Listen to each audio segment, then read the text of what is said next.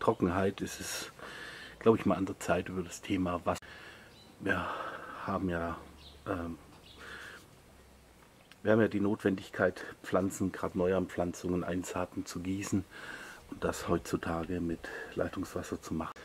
Das hier ist unsere Konstruktion an der Terrasse. Da habe ich einen kleinen Regendieb reingebaut. Den Regendieb kann man hier sehen. Da geht ein kleiner Schlauch rüber zur Tonne. Und wenn die Tonne voll ist, dann läuft das Wasser hier unten weiter. Und dieses Wasser geht dann auch nicht in die Kanalisation, sondern dieses Wasser kommt dann hier raus, läuft dann in diese Dachpfanne und da in den in die Wanne und was zu viel ist, läuft hier in den Boden, was ein bisschen eine unglückliche Stelle ist, weil dann wird zwar der Bereich hier befeuchtet, aber das ist so ziemlich im Eck und da wächst dann auch nicht viel.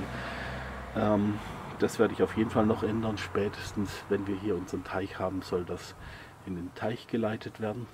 Ja, hier unter dieser Terrasse befindet sich eine 5000 Liter Zisterne. Dazu haben wir auch die Dachrinnen abgehängt, dass die nicht mehr in die Kanalisation entwässern, sondern eben hier in diese Zisterne reinlaufen. Und darauf haben wir ein Hauswasserwerk ähm, und ja, eben einen Verteiler, dass wir nicht die Schläuche immer durch den ganzen Garten ziehen müssen, sondern für jeden Bereich es so Schläuche gibt. Außerdem ist da noch eine Schmutzwasserpumpe drin, um den Rest rauszuholen.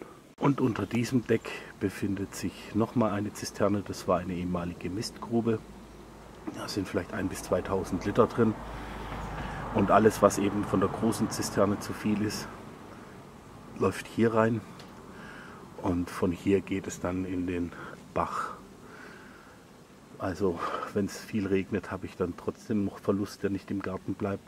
Aber es geht wenigstens nicht in die Kanalisation.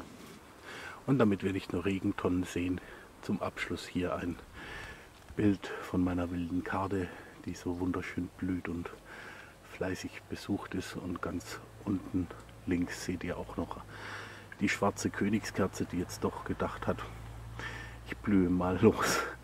Ich glaube aber, das war jetzt erst im ersten Jahr, also naja, egal. So, also das war das Thema Wasser im Garten. Macht's gut. Ciao, ciao.